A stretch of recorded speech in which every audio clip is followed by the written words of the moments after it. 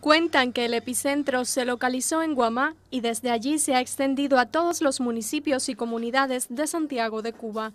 El Centro Provincial de Gestión para la Reducción de Riesgos, sus filiales municipales y los 40 puntos de alerta temprana tienen una especial misión para preservar la seguridad de los santiagueros. La importancia de un centro como este es facilitar el análisis y la evaluación periódica de los peligros y los factores locales que generan vulnerabilidades con la participación de las instituciones y organismos del territorio a través de los grupos multidisciplinarios que trabajan en coordinación con nosotros como Centro de Gestión de Riesgo.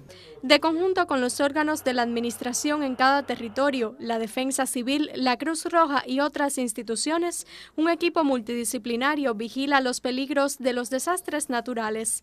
Así lo confirmó la experiencia del huracán Sandy. En el marco de su décimo aniversario, se suman al próximo ejercicio de la defensa con actividades dirigidas a consolidar las fortalezas del territorio y aumentar la percepción de riesgos en la población.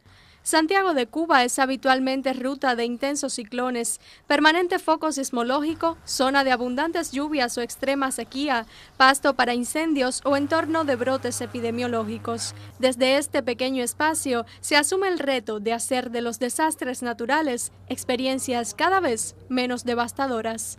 En Santiago de Cuba, Claudia González Catalán, Sistema Informativo de la Televisión Cubana.